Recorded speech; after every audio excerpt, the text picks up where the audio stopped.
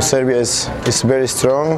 Was strong before the game, and now is is, is strong also. Uh, I mean, the World Championship is starting right now. Um, if we fight every point, if we fight every set like we did today, um, for sure we can we can do something something beautiful this tournament.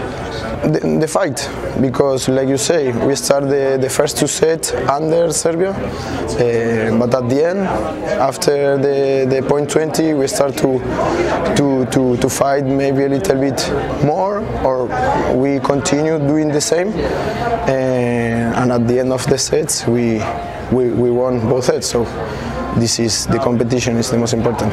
Yes, for sure. Always the pool is, is, is are very very difficult because every every all, all the teams in the, in the tournaments are very strong. Um, but yes, it's like I say, the, the, the real World Championship is starting right now.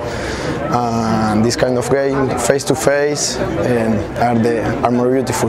They are amazing. Uh, I really enjoy playing in Poland because the atmosphere is amazing. I love play with Polish fans, and I will enjoy a lot this season. So I'm, I'm very happy.